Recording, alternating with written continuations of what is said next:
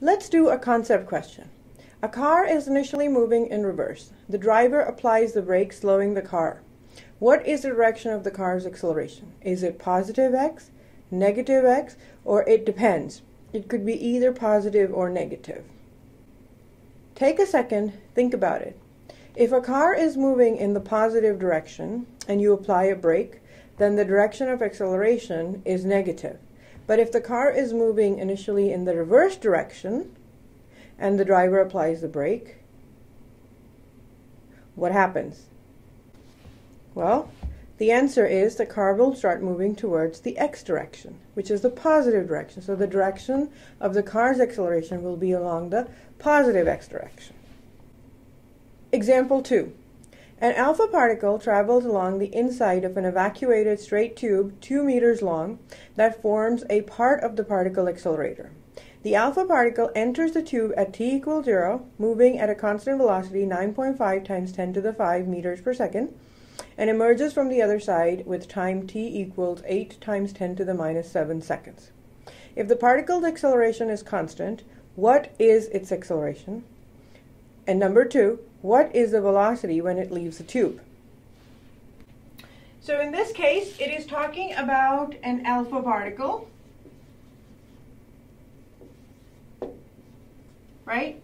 And it's saying that this alpha particle moves through this tube, which is two meters in length. And it says it enters at t equals zero and it leaves at a certain time, which the question gives me as 8 times 10 to the minus 7 seconds, right? And it says that it is moving at a constant velocity, initial velocity of um, 9.5 times 10 to the 5 meters per second. Okay? And it's asking me, part A, what is acceleration? Okay, so now I have all the equations of motion that can help me. The first of all, I think equation 2 might be very useful. So I'm going to use equation 2, which is delta x equals v naught t plus a half at squared. Okay? I know delta, delta x which is 2 meters minus 0 meters, the length of the, the tube, times V naught, which was 9.5 times 10 to the 5 meters per second.